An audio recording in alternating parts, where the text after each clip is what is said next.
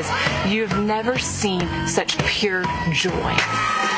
This is amazing as you can see the children's faces. They are excited as they open up the gifts for the first time. What makes the gifts more than just gifts is the message that comes with the gift. This is the opportunity for a child to hear the gospel of Jesus Christ. The mission of Operation Christmas Child never changes. Children are coming to Jesus, and children are taking the gospel to the ends of the earth. Millions of children around the world are being impacted by these simple shoebox gifts. One box can touch not just a child, but the whole family. So we need to keep packing those boxes and pray for the children that God will use this in a very special way. So thank you for being a part of it. God bless you.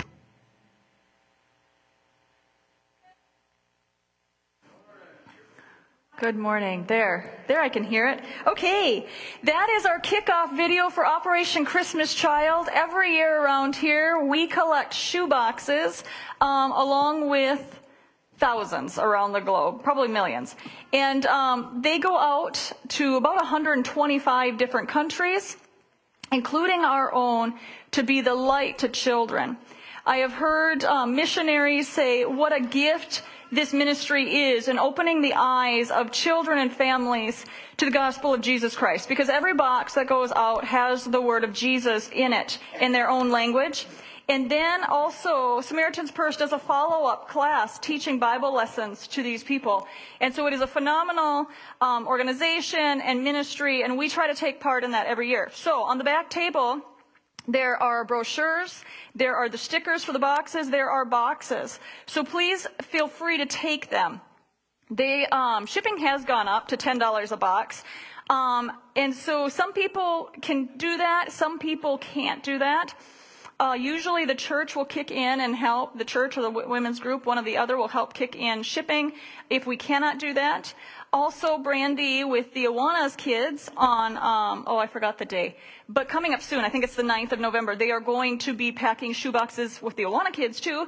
So if you think, I can't do a whole box, but I can pick up a few items, there is a tub now in the back that is under the table. You can bring in supplies because the kids are all going to pack a shoebox at Awanas on that day. And so all of those will go. They are due, um, I believe it's November 13th through the 19th is collection week this year. So we would like them all back in here by that time. We're going to pray over them and then we'll, we'll get them on to the next spot. Um, so please feel free to take any supplies that you need back there. And if you have questions, you can see me on that. Then at the women's meeting yesterday, always we're getting into that fall time of year. And so the women, um, and we pray the whole body will gather together and we um, make um, Thanksgiving boxes. I got to switch from shoe boxes to Thanksgiving boxes to give to our widows, to people in need. And so we are shooting to do 40 Thanksgiving boxes this year. That sign up is on the back table. Um, if you have a heart for people and want to help with that, please sign up. You just write your name down, you write how many supplies you want to bring in. And then on the 12th of November at our next women's meeting, we will put those boxes together and then we deliver them that day. So if you want to help put the boxes together, you want to help deliver, please come then November 12th. Um, lastly, it is Pastor Appreciation, which he would not um, usually want me to say. However, he's not here today. So, it's a good time to announce that that October is Pastor Appreciation Month. And um, Jennifer has a calendar in her office. If you would like to sign up for a day, you can do anything, anytime if you want. But um, since it's October, Pastor Appreciation, we try to do a calendar around here that we all pick a day that we're going to bless the pastor with something that can be a card of encouragement, some kind of thanks to him. Some people love to bake and they bring him goodies, whatever you like to do. But if you feel inclined to do that, Please see Jennifer on that as well.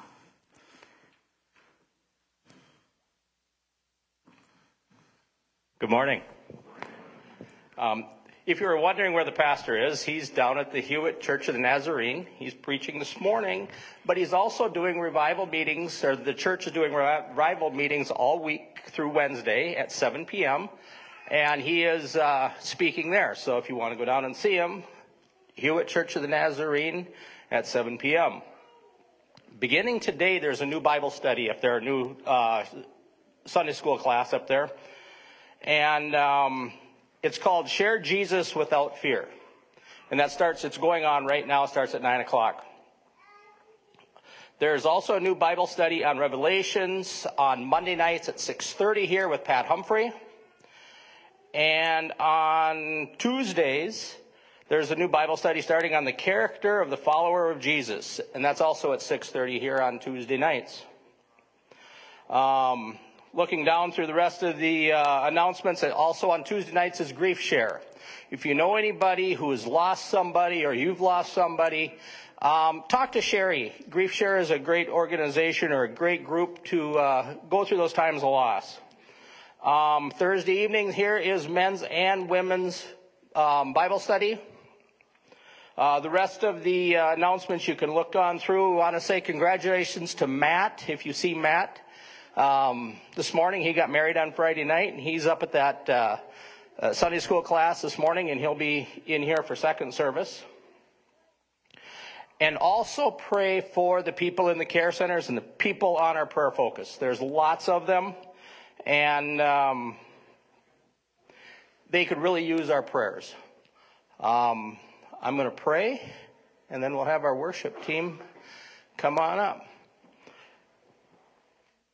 Dear Heavenly Father, we thank you so much for this day. We thank you for each and every one who's here. We pray for those who are gone. We pray for our pastor as he is uh, preaching someplace else this morning, Lord. We just pray for the sick. We pray for the people in the care centers and the people, on our prayer focus. And we pray for Casey as he leads our message today. We pray that you'll give him the words to speak, to touch our hearts, Lord.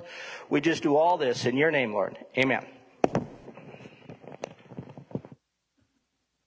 The first song we're going to sing together this morning is a hymn called Moment by Moment. If you'll join us to stand and sing.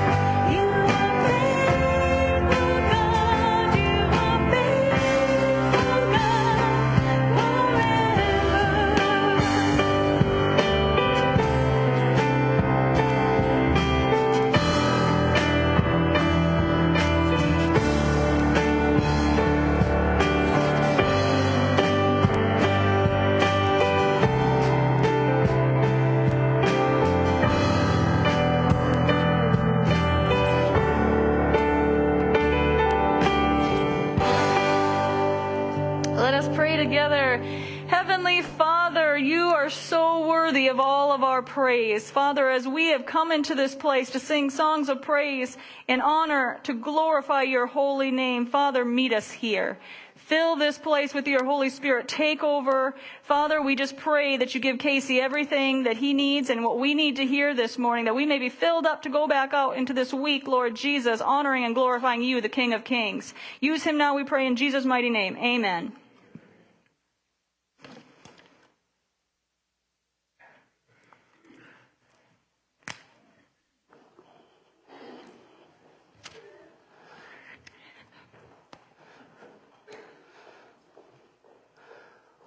Well, good morning, everyone. Thank you all for joining us here this morning on this fall morning.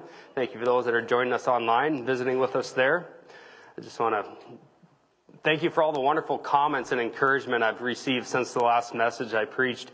Um, it was challenging, but uh, encouraging. I was met with a, just a lot of direction from there. Uh, the Spirit's been working in my life and in my family's life with some challenges, um, and just just thank you for this opportunity again to come before you. I have to say this is probably one of the top two most difficult sermons I've ever preached. So we'll. Uh, so from that, let's uh, let's go to the Lord in prayer so we can just welcome in on this. Heavenly Father, we thank you for this day. We thank you for this time together to worship corporately, to go to the Word and just expose it to what it is.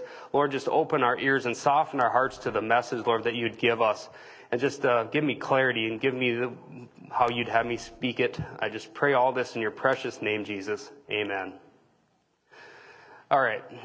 So, as you can see in your bulletin, we're going to be talking about Jesus and who he is today. The name of Jesus, just like we just sung about. I can see your guys' faces. You know, all right, Casey, we know who Jesus is. We've been sitting in church for many years. We know we got it. Well, not so fast. Stay with me, don't tune out, because even the Apostle Paul in the church of Colossae gave this same message to them. He was preaching on the supremacy of God and the preeminence of Christ. So this was a solid church, and he still went and proclaimed this to them. So that's where we're going to go. But before we get there, I did some research on, I just went on YouTube. I just searched some ideas and some main topics and some main, main sermons that were preached in 2021.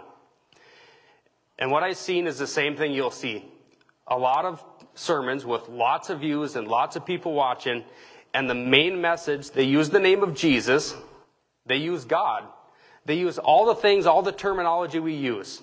However, they either add or subtract to it.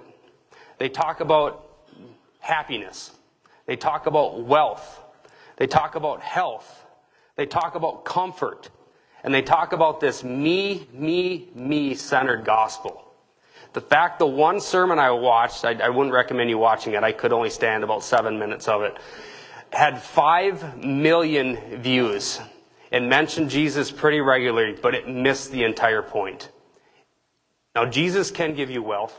Jesus can give you health. He can give you comfort. He can save you from an illness. He can do all of these things, and He does love you.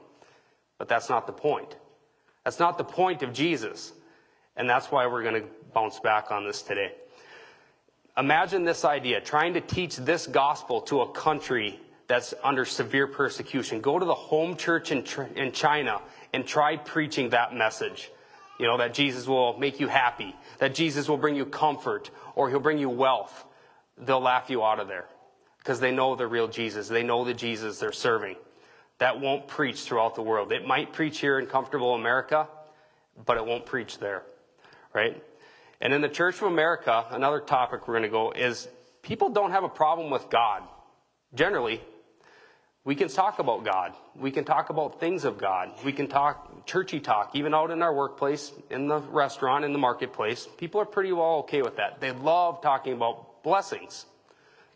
There's no problem there. Start talking about Jesus, bringing up the name of Jesus, talking about temptation, talking about sin, talking about the real challenges we deal with on a day to day basis. And you'll see a different attitude, attitude towards people. They're all pretty comfortable with the name of God, but you start bringing up the powerful name of Jesus, and people's attitudes change. They, they get a little, little touchy, right? So the Jesus we're going to be talking about today is the Jesus that fixes our biggest problem. And then that is God's wrath to be poured out upon us unless we know who he is, unless we have came to the saving grace of Christ, right? That is what Jesus that is our biggest problem and he's the biggest he is the only fix for that. He can do these other things too, but if you miss that point, you miss Jesus. So, we're going to take a little page out of Jim's book, and we're going to do a little. I got a couple a little survey here. Uh, this is from Lifeway Research by Aaron Earls. I just picked he had a survey of 22 points. I just picked out four of them that I thought were very relevant to the church in Colossae. 63% of Americans identify as Christians. I'm sure we've heard Jim say this.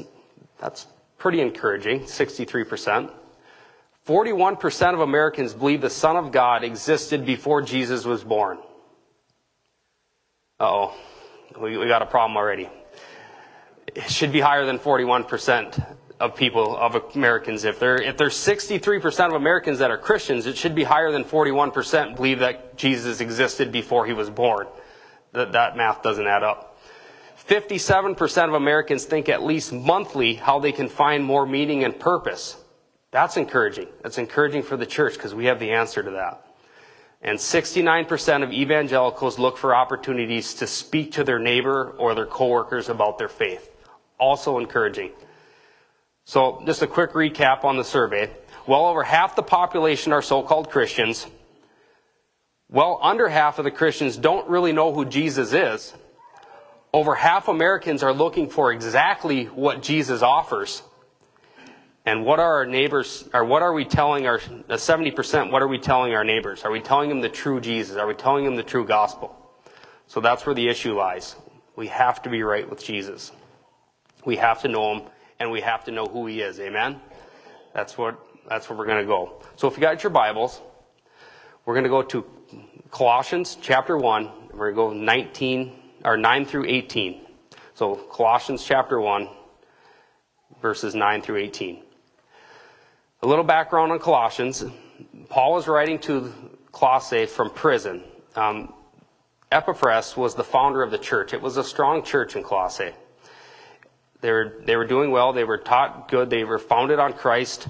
And then uh, some things started to happen there rather quickly in the church. Um, there were some things going on. Some false teachers were moving in. Um, they were teaching things like a new enlightenment or being progressive. Uh, they were wanted to add things to the gospel. The, the, cross wasn't enough. They needed to add things to it. Um, legalism was creeping in, that they were going back to the old laws, that you had to do works and you had to do um, you know, ritual in order to be saved. That was creeping into the church in Colossae. Angel worship was moving in. Uh, so they were basically, in order to get to God or in order to get to Jesus, you had to go through an angel. There had to be a pathway through there. So they were worshiping angels. Folks, there's nothing new under the sun. These same things are still going on today all over. The devil and his schemes are still working and working strong. We have these same issues in America today and probably throughout the world of these same false teachings creeping in. So that was what was going on. So Paul took this time to write the letter to Colossae to encourage them and strengthen them. So Colossians chapter 1 verse 9. For this reason, we also, since the day we heard it, do not cease to pray for you and to ask that you may be filled with knowledge of his will in all wisdom and spiritual understanding, that you may walk worthy of the Lord, pleasing him, being fruitful in every good work, and increasing in the knowledge of God. All right, let's hold up there. So Paul's well aware because um, he was being told that what was going on in the in the church in Colossae. So he knows the problems and issues going there he could have got after them. He could have said some things to, you know, rebuke them. But the first thing he does is he goes to them in prayer. He strengthens them in prayer. Look at these things that he prays about. Knowledge of, the, of God's will, knowing who God is, wisdom, spiritual understanding of all things of the Lord, supernatural, to walk worthy with the Lord, being fruitful in good works, Familiar? James chapter 2, you know, showing your works and being in faith. And then uh, he just walks through this powerful prayer to encourage them. I, I would argue that all churches need a prayer like this. We all can have issues and struggles and shortcomings, and just to come alongside of them and encourage them through prayer, just find that outstanding. He keeps going in 11. Strengthened with all might according to his glorious power, for all patience and long suffering with joy, giving thanks to the Father who qualifies us to be partakers in the inheritance of the saints in the light. So he starts off with a prayer to encourage them and then builds them up. And then he goes, he's looking forward to give them God's supernatural power. So going through challenges, going through persecution, going through all these things to have extreme patience and enduring suffering with joy. Folks, that doesn't just happen. That's not in us. Typically, when hard times fall on us, we tend to grumble. We tend to run from the issues. We don't face it with extreme patience and joy. That is power of a supernatural kind. So that's what Paul is praying for them. He wants them to be able to endure these struggles and these challenges with power and joy. Right? Then he keeps going in through uh, 13 and 14. He has delivered us from the power of darkness conveyed us into his kingdom of the Son of his love, in whom we've had redemption through his blood, the forgiveness of sins. So after he gets done praying for them and encourages them and builds them up, he lays out the gospel message. You know, he delivered us from the power of darkness. That's where we were. That was where we were before Christ. We were in bondage to our sin. We were enslaved to it, of that power. But he conveyed us into the kingdom of the Son of his love, who we have redemption through his blood. That's the cross and then we have forgiveness of our sins through the resurrection. So he lays out the gospel message for them. So he's doing all this to build them up, to show them in the direction, to kind of recenter them. All this to say, we're going to get into 15 through 18. That's where we kind of want to land today. That's where we're going to focus. He gets into the preeminency of Christ. So, 15 through 18 is he is the image of the invisible God, the firstborn over all creation. For by him all things were created that are in heaven and that are on earth, visible and invisible, whether thrones or dominions, or principalities or powers. All things were created through him and for him, and he is before all things. And in him all things consist, and he is the head of the body, the church, who is the beginning the firstborn from the dead, that in all things he may have the preeminence. Preeminence is the fact that's surpassing all others, the ultimate truth. The, the, there is nothing above it. And that's who Paul is laying out. He's giving the true Jesus here. There's big questions that we answer in life. All of us come to these, these questions at some point. You know, who, why am I here? What's the point of all this? What's wrong with this world? And how can we fix it? And in this little portion of scripture, we're not going to get into all the answers today. That'll be probably part two. Um, he answers every one of them big questions in that, and that's the preeminency of Christ. But I just want to read this in a little bit different light. I don't want to add to scripture. I don't want to change it. But just look at it in this light.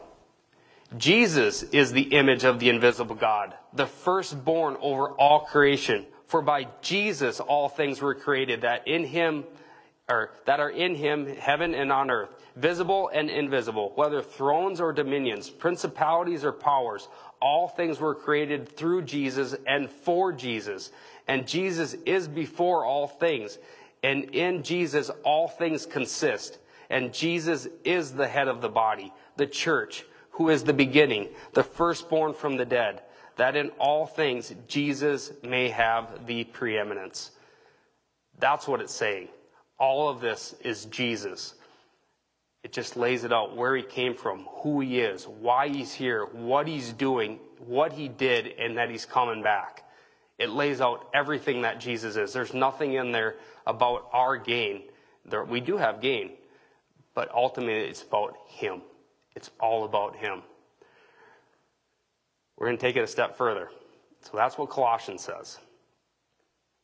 I went through and I did just kind of a study from Genesis to Revelation to see what the, the entirety of the Bible said about just the name of Jesus, just who he is and what he is. I came up with at least 230 scripture references throughout the Bible referring to Jesus and his name and his power. I thought, well, it'd be fun to come up here and just read 230 of them all out to you and give you a reference to every one of them. I did go there. My wife thought that might have been a little much. So, but I couldn't help but be bringing that list to light because that list is so powerful. We're going through some things at home right now that are challenging and tough. And even my wife sent me a text and she said, Where does your strength and your power come from? And I had to take back and, and just think about that for a little bit. So as I'm preparing this message, I'm going through these scripture references and I'm going through the name of Jesus. I'm going through his power. And I just came up with this short list. And it's moving. Um, I'm usually a pretty, oh, sorry. I'm usually pretty steady. I usually don't uh, get shaken too much. Um, but going through this list and putting it together, um, it, it moved me in a powerful way. I hope it does for you too. Let's read it. He is the I am, God, Judge, Creator, Most High God, Master, Everlasting God. He is jealous. He is healer. He is the rock of my salvation, the morning star, the Redeemer. He is my rock and my fortress. He is altogether lovely. He is holy, holy, holy. He is the king over all the earth, the son of the living God. He is betrayed, mocked. He is the Christ, the crucified. He is risen. The word became flesh, the chosen of God. He is Messiah, the bridegroom, the way, the truth, and the life. He is perfect, the Lamb of God, the Christ, the cornerstone, the good shepherd who laid down his life the word of life, the resurrection. He is the true God. Jesus Christ our Lord, the Almighty, the first and the last, the exalted, the Amen, the Lamb that was slain. He is the God manifest in the flesh, the Lord of Lords. He is love. He is the righteous judge. He is Jesus Christ, the same today and forever, the author and finisher of our faith. He is the Savior of the world, the Alpha and the Omega, the King of kings, the bright morning star, and He is God. That's our Jesus. That's who we come on Sunday to worship. That's who's the name we should be lifted up. That is the reason we're here. It's not me, me, me. It's not wealth. It's not health. It's Jesus, folks. That is the point. And that's where I want to land. Just take a second to bring that in. It's just so powerful. You read that list, and that's who we're here to worship. So, my question is do you know him? Is that your Jesus? Is that the Jesus you tell your neighbors and friends about? Do you proclaim him like that? Do you read his word and seek him out to find him and know that Jesus? Friends, it's all about Jesus. Everything is him. I'm going to prove it in Colossians 1 7. He is before all things, and in him all things consist or the NIV would say, all things hold together. I've been to churches and I see Jesus hanging there on the cross. Folks, he's not on the cross. He's not. He's risen high and raised up and seated at the right hand of the Father. And he is not bored. He is not tired. He is up there running everything. Everything we do, everything we say, everything we are, everything is controlled by Him every day, all the time. If He stops, we stop. Nothing more to it. He controls everything. He's, everything is in Him because He consists. So think about it. As you're out in your daily walk and out doing your stuff and everything He's in, He's there. He's guiding it. He's controlling it. He's before all things. I just want to make a quick note on this. There's a lot of believers and a lot of brothers and sisters, and some of them are my dear friends, that would reject the creation story, that would reject that God created the heavens and the earth. He spoke it into existence. They think there's other means of that. If you're rejecting that, you're rejecting what Jesus is doing today. He was there in the beginning. He created it. He is the reason why, right? So he's before all things and he sustains all things. He sustains everything we're doing right now. This is all his plan, all to his glory. The sun, the moon, the stars, the planets, the galaxies, in control of it all. Everything hangs in there because he says so. The plants, the growing of the crops, the harvest, all him. Animals, the way they move, the way they do, the way they sustain, all in his control, and they all obey. The seasons, All Him. Tides, the waters, the oceans, the rivers. He's guiding it all. All Him. Everything. There's nothing outside His control. It's truly amazing when you put all this together and see who we worship and why we worship Him. I was afraid I was going to get through this a little bit too quick. so, we must know Jesus of the Bible. I'm here this morning. I want to encourage and to share you, to share the true gospel, Jesus' love to a lost and hurting world. In fact, that's exactly what they're doing back there is they're learning and, and researching and, and figuring out ways to share Jesus with our friends, our neighbors, our coworkers, the folks at the restaurant, wherever we go, wherever we go in life, Jesus put us there for a reason, and it's to exist. At the same time, it's to tell people about Him and show our love through them, through our actions, through our words, through our kindness. We need to find ways to do that. So I'm here to encourage you. I want to echo a few words from Jim.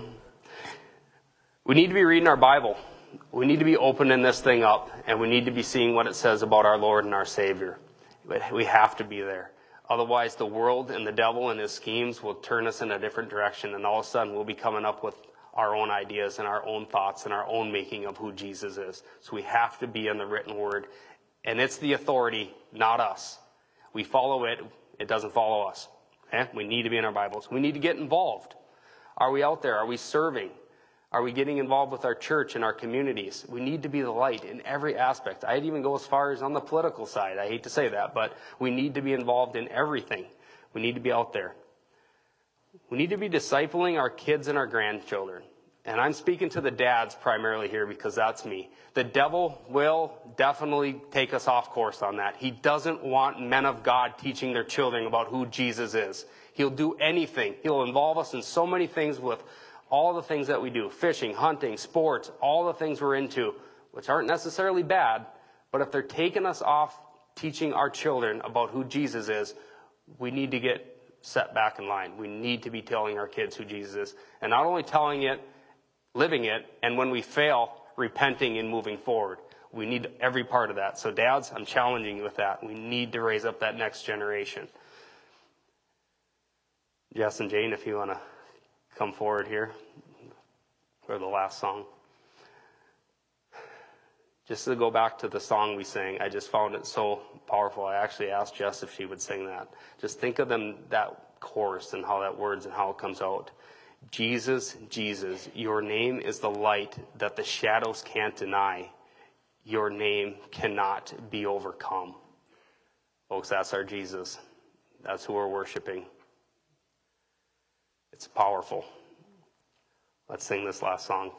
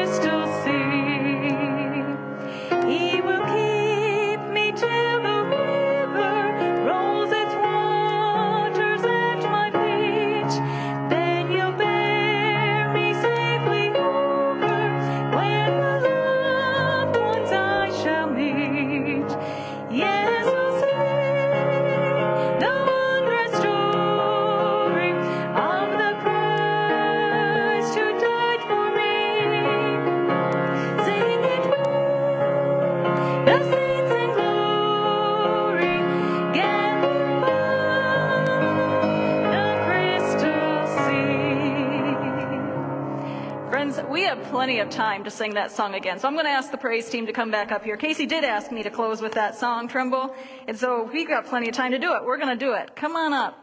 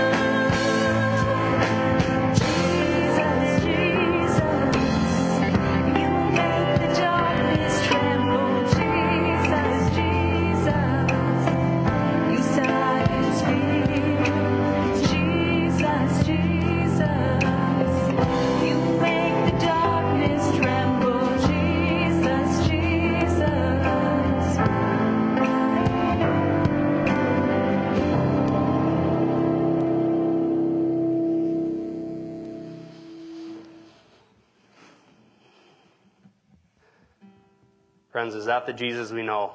Is that the Jesus we come to worship? Is that the Jesus we follow? Is that the Jesus we tell people about? Is that our Jesus? I encourage you, if that's not, please talk to me. Please talk to Pastor Jim. There's plenty of folks in this church that can walk alongside you in coming to know that Christ. Let's go to his name in prayer. Heavenly Father, you've been so grateful us. You've been so helpful in just guiding us and being meeting us here in your spirit in our gathering. Lord, you just speak your name with boldness and power, and you just we just sink. It's just so much there.